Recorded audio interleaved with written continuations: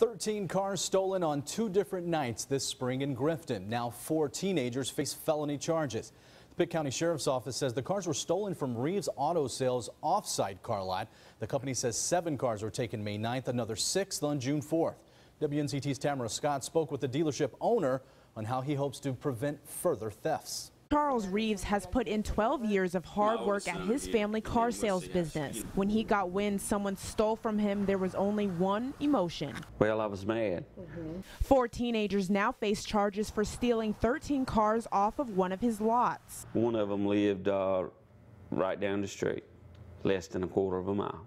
Pitt County deputies have followed leads ever since the first group of cars were stolen. As with any case this big, with this many um, vehicles that were taken, you know, the case is ongoing as far as the investigation. Since the second theft, Reeves has his employees keeping a closer eye on his inventory. Well, we're just making sure that everything is, you know, secure at night, and then we can check the cameras and stuff with the phones. And Reeves says many of the cars were too damaged to sell. He estimates his loss at about $30,000. As for the teens accused of the crime, Reeves has a thought about their punishment. they would be made to come back and apologize, and they would be made to pay for everything they damaged and tore up, because that's a part of life, knowing the repercussions of everything.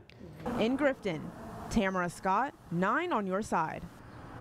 Daquan Robertson and Raquan Arrington are two of the four arrested for the crime. They both have court dates set for July 27th.